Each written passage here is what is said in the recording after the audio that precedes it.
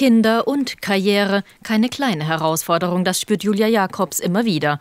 Karl ist ihr zweites Kind, gerade sechs Wochen alt.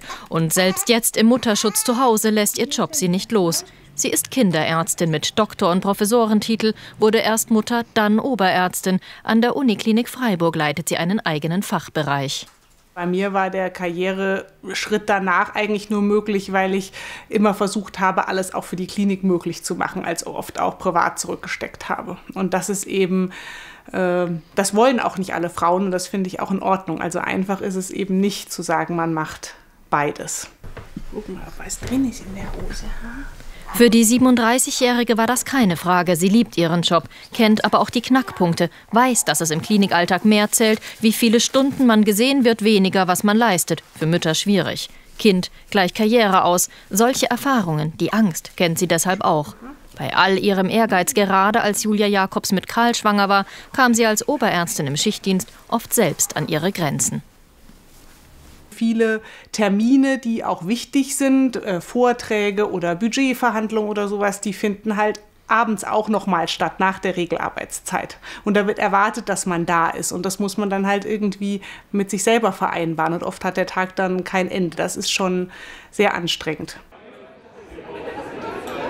An den Unis überwiegen die Medizinstudentinnen. Rund 60 Prozent sind es heute in Baden-Württemberg. Später im Beruf weniger als die Hälfte und in Spitzenpositionen gerade an Unikliniken meist unter 10 Prozent. Als erste Studentin an einer deutschen Uni hat sich die Karlsruherin Johanna Kappes 1899 in Freiburg ins Medizinstudium gekämpft.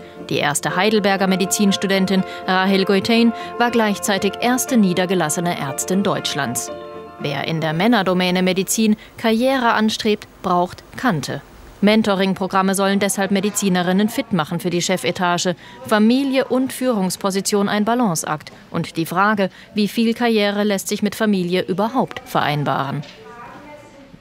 Ich habe auch im letzten Jahr ein Angebot abgeschlagen, weil ich gedacht habe, ich kriege das einfach nicht hin. Dabei wäre das der nächste große Karriereschritt gewesen. Also für mich war schon auch die Frage, kann meine Familie das leisten und bin ich danach dann noch glücklich? Und die Frage musste ich leider beneiden. Aber ich, die Chance, dass ich die nicht wahrnehmen konnte, die hat, das hat schon ein bisschen geschmerzt.